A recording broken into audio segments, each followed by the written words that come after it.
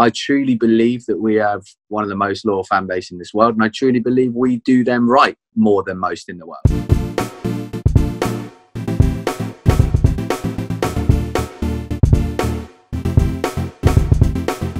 Hi guys, James Wilson Taylor here for Rock Sound with the latest in our series of video calls while everyone's stuck at home, and I'm delighted to say that from Bury Tomorrow, Dani joins me down the line. How are you, mate?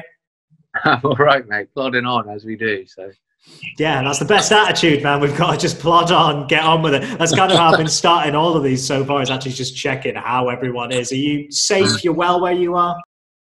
Well, yeah. So I work for the NHS, so I'm I'm pretty much on on absolute mobilisation mode at the moment. So uh, yeah, so it's good. I'm, I'm doing my thing, doing my part. So yeah, it's good. Yeah, absolutely, man. And yeah, I, I was going to say you are in the most unique position of anyone we've spoken to so far, of course, because you work within the NHS. Um. I see already, you know, obviously watching on Twitter and stuff, and you're you're doing what you can to help support your colleagues and everything as well. What's kind of morale like for you guys at the minute? How's it all going?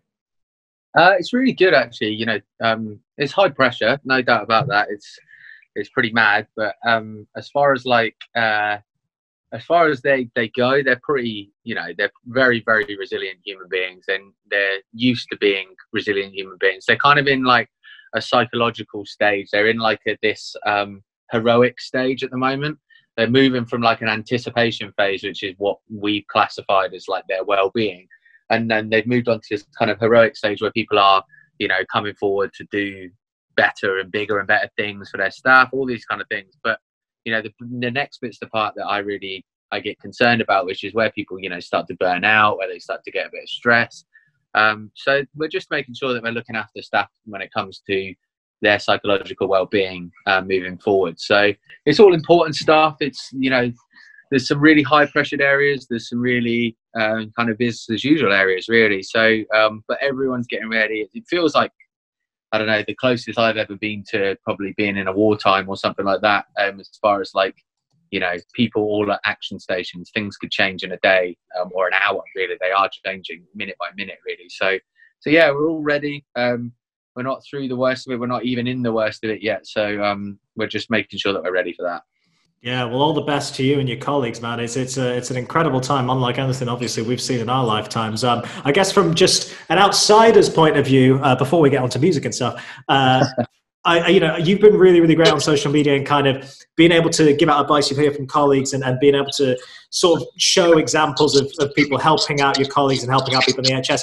Just as someone outside the system, what can we be doing more to assist with people actually on the front lines. Apart from following the government guidelines is there anything else we can do you know? Yeah i mean i would say just stay at home. Yeah fair enough. Important. Very important. That is the biggest the biggest thing man. Like i drove home from southampton today and i saw people you know it's really you know i, I get annoyed because i work for the nhs and i get annoyed because i understand it. Probably i have a bit of knowledge in that sense but you know it's this isn't a holiday period for people you know? Like as as crap as it is to and as such a kick in the teeth as Mother Nature is, in that it's given us three weeks of glorious weather so far. Like, you know, it it it's not a holiday, you know, and this is something that people need to they need to have their their steps, you know, ready for themselves mentally. They need to make sure that they are practicing what helps them feel better, whether that's mindfulness or CBT work or you know just connecting socially. It's not social distancing it's physical distancing. Social distancing is, is not what we're trying to do here. Social distancing is is bad you know and we should actually be more socially interactive than we've ever been but from a digital perspective. So people just need to be connecting with people because i you know i don't want to see a surge of people ended up being in crisis from mental health um, stuff. Um, you know being careful at home that would be great. Um, sure. don't a career of juggling knives when you're sat in uh, social isolation or not social, set physical distancing. Um, and then generally, you know, like if people, you know, just keep an eye on your local services, you know, like if people need help or they're putting calls out for people, you know, obviously a lot of people are off on the 80% government thing, which I think is a great thing. I think it gives people a bit of time to breathe and time to think and relax and just look after themselves, really. Um, but really, you know, following that guideline is the most most important thing you know it, it is proven in these places of absolute pandemic where things have got absolutely insane is that actually social distancing for longer periods of time, or not social, physical distancing for longer periods of time, have better outcomes when it comes to spikes. It's not about reducing the the, the curve so much anymore because I think the curve's going to get to its peak. I think it's more about actually when we're coming back out of that, is does it go up again, which it will do if we don't kind of think about it sensibly. Um, but yeah, just follow your local trust on Twitter. Follow, you know, talk about it. Be positive don't share things that are a load of rubbish. You know, go on public health websites, um, find reputable links. Don't just follow something that is a Twitter because you know use social media for what social media was supposed to be for and that's socially interacting with your friends. You know yeah. I, I, think i think you're very wise in saying about social media in particular. You know everyone's looking at their screens constantly now because we're all stuck in the house. Maybe let's get back to a more innocent usage and uh, and use it to connect with mates and stuff a little bit more. I think that's very very yeah no doubt no doubt let's get into music now, shall we? Because there's nice things to look forward to in this crazy, crazy time. We do have a new album coming from Bury tomorrow. Slightly pushed back, very, very understandably, but still a very, very exciting time. Talk me through in in, in as concise a way as you can. Let's sum the themes of Cannibal because it's it sounds like a very important for you guys. Yeah, it's it's weird actually. This is, seems like such an odd conversation after like we were gearing up so hard and like I was having conversations like this pretty much, you know, daily for like four, five, six weeks prior to the album, and then obviously with the pushback, it's kind of weird to have almost like a about a week lull almost of like, oh, I'm I'm NHS mobilised now and off I go. Like it just seems a bit odd now to go back and, and think about Cannibal. Um, yeah so like it kind of all ties in with what i'm doing with resilience and well-being as well and it's it's really a journey that i went on a couple of years ago um, where i had massively depreciated mental health and i suffered quite heavily with um, well continue to do so and i'll never get rid of um, my anxiety and and uh, depression and actually you know for me it was a journey of like cannibal was a perfect timing and a perfect culmination of timing plus kind of fan base. And we're at this stage, this really pivotal moment with our fan base where we've got Black Flame was really an album for the fans. It was an album for people to go, you know, yes, we're a solidified group of people that we do everything we possibly can in this world for fans. And we gave them an album that was for them, which was Black Flame, um, which is predominantly probably the first time we've done an album kind of all like that. We did Lionheart, which was a song that was written about fans bringing us back from the brink. But this was the kind of culmination of all of these years. You know, Black Flame was our like swan song for that kind of era of like, you know, amazing. Thank you so much. Thank you so much. And then it was a really moment for for me to kind of think, well, a, a perfect storm of being well enough to be able to talk about mental health, which is really important I had to get my resilience up where I could actively talk about it without it having a negative impact on, on me. Um, I wanted to learn everything I possibly could about mental health um, without being a clinical practitioner because I think it's important, you know, as much as I want and I probably will go through my kind of CBT mindfulness and um, and kind of practitioner level stuff, which I'm sure I will do at some point. I really wanted it to come from a lived experience kind of point of view. Um, and sometimes, not all the time, sometimes kind of having a bit of knowledge and um, can well having clinical knowledge can sometimes cloud that i think with with this is what's happening this is what's happening. I wanted to tell the story of how it felt. Um, so and then being in a position where actually our fans are willing and able to accept that on on a level where i'm not trying to say you know the metalcore olds of we're going to rise up and we're going to rise together and all the old kind of cliches that you get from metalcore really as a genre um, I kind of had a position where I could be honest and and I knew it was going to be accepted. You know, we could I could release an album where I'm talking really honestly about mental health and being vulnerable without feeling like and I probably could have done it 10 years ago with our amazing fan base 10 years ago, but I felt at that time that, you know, we've given, I've gone through all of these albums. I've done, you know, we're on six albums now. Like it's a lot of albums spanning, you know, 14 years worth of work and effort and time. Um, and, you know, I, I felt like I had to be honest, you know, and I've also campaigned a lot over this last year, um, predominantly over this last year, two years around mental health and safe space and all the stuff I did around there. Um, and then working for a mental health trust for two and a half years, which I now have moved back to a um, big hospital. But I worked there, and it gave me a lot of insight in being honest and being vulnerable. And you know, Cannibal was is the first time I've ever been so blatant and straight up about mental health and my depreciated mental health.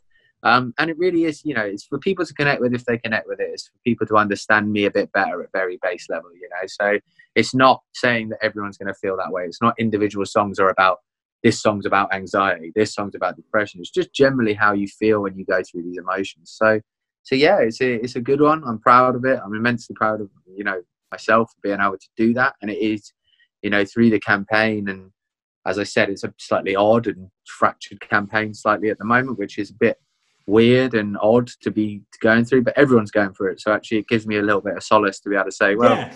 it's an odd it community weirdness we're all going through at the minute, isn't it? This is it. Everyone yeah. coming together, and like you say, you know, with the with the themes on the album, yes, you are talking about very personal issues and and, and what you've gone through personally, but they are universal feelings for a lot of people and it does kind of make sense to, to put it out there now that you know that the audience are there and, and you feel confident enough i suppose to to understand that they will be there to appreciate it. I, I guess that is my my underlying question you know like you say you you've this many albums deep.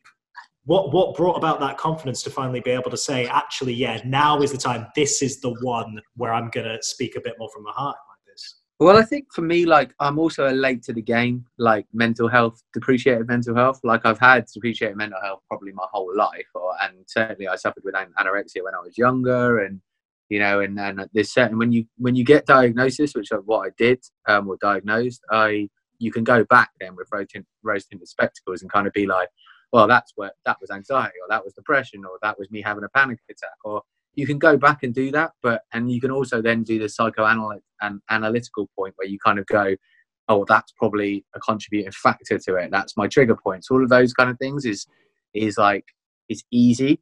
But you know, for me, when I got, got diagnosed, I only got diagnosed when I was like 26, 27. So actually, you know, I'm quite late to the game when it comes to actually like reaching out for help, which is which is part of it. Really important um, to identify that um, identify what stopped me or what identified what contributed to it or what I could have done better um, in myself, which is something I'm always important. Uh, it's important for everyone to do. Um, I think as well, you know, we knew with Black Flame we wanted to do something very different, and we wanted to do something that solidified and really, you know, put our hearts on our sleeve when it came to showing the fans exactly what they meant to us. Like, you know, we did Black Flame Band and the whole campaign was focused around how can we digitally and physically connect with our fans on a different level which is what we did and we achieved you know. I, I truly believe that. I think it was a wholly successful campaign. Um, and then from that point of view it just gives you a catalyst of almost being like well what next then you know? And and from that aspect i just started it was quite an organic process. I'd already started writing lyrics and they all seemed to just sit within that vein um, and then I, I remember having a vivid conversation when we were in the studio, and the guys being like, "Well, Dan, like six out of the eleven songs are right now, uh, and I'd only written six out of the eleven. They're all pointing towards your met depreciating mental health or how you felt. They were like, "Well, if we're going to do this, you know, we're not going to force other songs to be different just for the sake of it, you know, or just be on a different topic or genre in that in that sense." So it was kind of like a conscious well, if we're going to do it, we're going to do it properly. Um, we're going to go whole in about this from a personal level. And and yeah, so that was the kind of moment really. But it was quite an organic process as far as, and it was probably because we'd almost capped off those five albums with Black Flame, and we kind of been like, you know, there you go, there's your, you know, quintet of albums all together, which show a progression from start from Boys Done Good 2009 all the way up to you know um, 2015 or 2016. No, 2018. Yeah, 2018 with Black Flame. Wasn't that um, long ago? Yeah, yeah, yeah. yeah, it wasn't that long ago. But it was that like combination of like, there you go, there's your back catalogue, and then this one was like a, okay, now we're getting into the nuts and bolts of me as a human being. For me, how can I tell people to be honest about their mental health if I'm not being honest about my mental health? That just seems wholly hypocritical to me. So um, and I'm all for living by the sword. And if I'm going to do something, I'm going to do it properly. And, and yeah, this has ended up being one of those things, I think. Yeah, absolutely, man, absolutely. And you alluded to it there. What a successful time and campaign Black Flame was. I mean, it, yeah. it really was unbelievable how you guys built that community that was always there, but really, like you say, connected with them on an even bigger level. It was it was an incredible, incredible project. Now that there is a little bit of time gone by, what are your kind of takeaways from that campaign as a whole? Like, what are the highlights of the Black Flame era for you? Um, I think you know, doing Black Flame Band was serious. You know, that was like a one of those moments where you go like, "Can we make this work?" And we made it work, and it was sweet. You know, and it wasn't all weird. And you know, we got fans from all around the world to submit videos, and we gave them an opportunity where we paid for them to come to London, spend two days with us, gave them instruments and a great time, and you know, and and watch them play our song together. Like that was just one of those life affirming moments where, you know, I'm talking a handful of bands have ever done anything like that in history of music. You know, and that is like what an accolade to have on our name that, you know, and it's re- wholly appropriate that we did that because I truly believe that we have one of the most loyal fan base in this world, and I truly believe we do them right more than most in the world. You know, and we will never ever bane or flex on our the um, how much they mean to us, you know, and, and what we do for them. Um, could we do more? Probably. Are we probably going to do more? Probably. Like it's like, you know, that's what we're about, and I love our fans, and and I think that is the success. The success yeah. it's solidified as a a worldwide metal core name. It solidified as one of the biggest bands in the UK for this kind of music, if you know, and this specific kind of music, if not the like, you know, yeah, one hundred percent. Got Bands, no. you've got bands like Architects which are doing their thing, very different to us. You know, it's got the same melody. You've got bands like Sleeps, very again in the punk's vein. But then when you start talking about who comes next, you're talking about us, and you know, and then we took the European market by storm, and we took, and we're now bigger playing probably collectively bigger venues in Germany than we're playing in the UK, which is bonkers, man. We went from playing 300, 400 caps on the same album cycle to at the end of the album cycle playing 1500 caps. Like, you know, so it's been wholly successful. It was great. It was the first record on Sony, so it was a real teething kind of seeing what we can do right on this record that we may didn't maybe didn't do amazing on the last record on Black Flame. So Cannibal's that kind of like, all right, okay, we know what resources we have, we know what we need to do, and we can do this from a personal level as well, which is just something I've never ever felt the feeling that I have when I play Cannibal and especially the Grey on the last tour. It just connects with people on a wholly different level, um, which we've never had. We never have had that.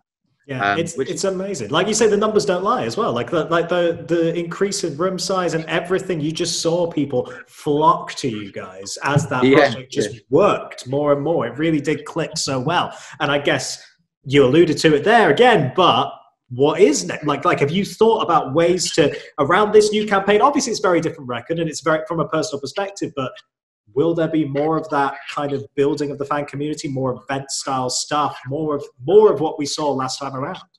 Yeah, I think we're already getting that. I suppose on an organic level, if you're a growing band, and like it's weird to say that you know, 14 years later, that we're still a growing band, and which again is another success that I will you know say is partly to do with our tenacity and partly to do with our kind of drive and commitment to the cause. You know, we are not rich, nor you know, I, I work for the NHS. I don't work for the, the money, I, but I am paid, you know, and I do my thing. Um, obviously, we have members in our band that only do this, and but we do well, you know. But like, we're not at a stage where I would say, you know, this is it. This is all we do. You know, this is you know, bury tomorrow. There's things that we want to achieve in our lifetime, you know, and there's things that we we expect to achieve.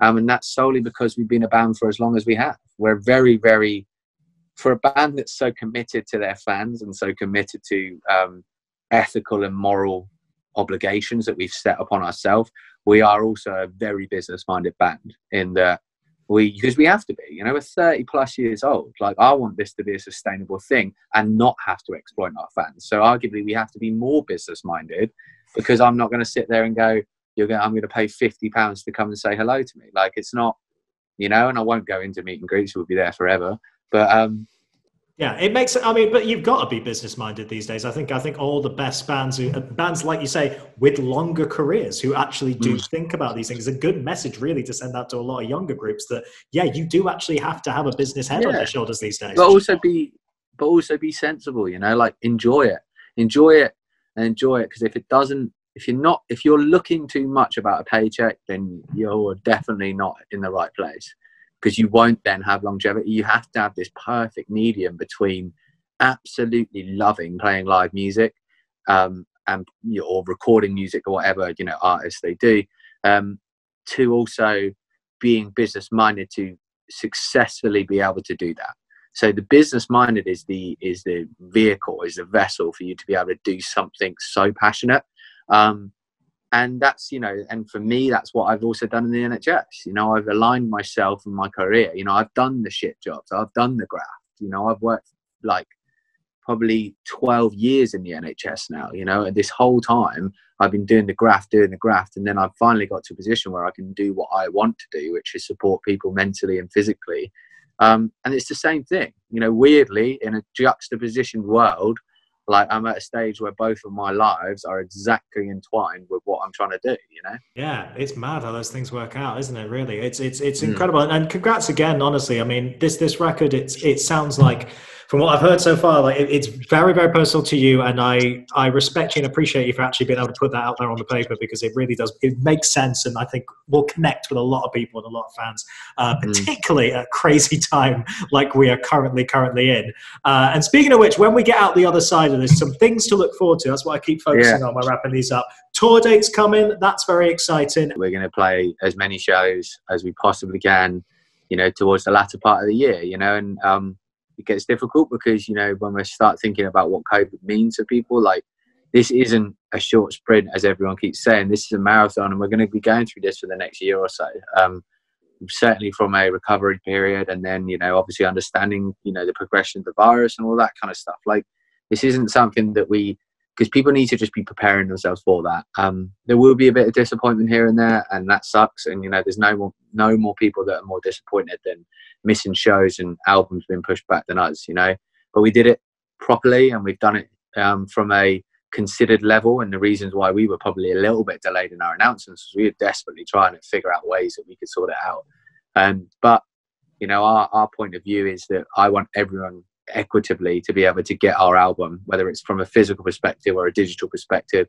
And if people have spent money um, on us, on a show, or on our record, we owe it to them to be able to get them that wherever that may be in time. You know, time is a long, long thing. You know, we can keep doing it.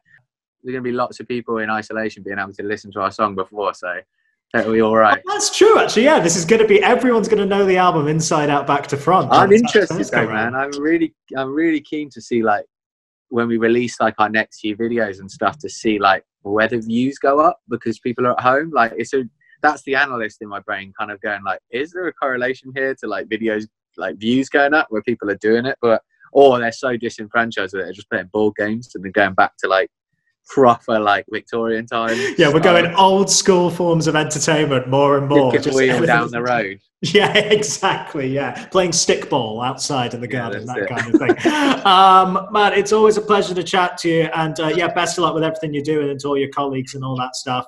And Thank we will hopefully, as I've been saying, everyone hopefully get to do this face to face sooner rather than later. I really hope so. No worries, Brett. Thank nice. you so much, buddy. I really appreciate it. Yeah, good to chat to you, man. All right, Dani, everybody.